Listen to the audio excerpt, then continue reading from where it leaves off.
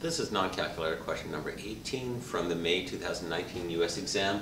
College Board gives us a quadratic that models the height of a rocket t seconds after it's launched from the roof of a building, and the height is in feet.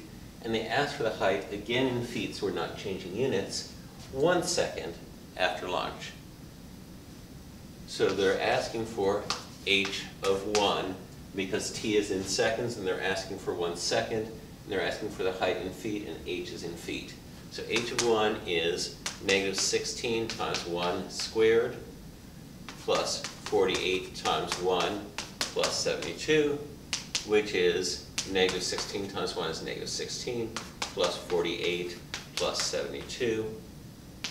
Negative 16 plus 48 plus 72 is 120, which is 104.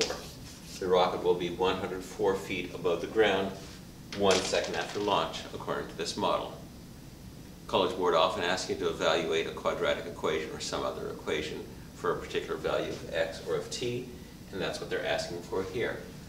Make sure you're comfortable with the h of t notation, which is just like y, but it allows you to specify the x value or the t value where you're going to evaluate it. And come back soon for my next video. With math, there's always more.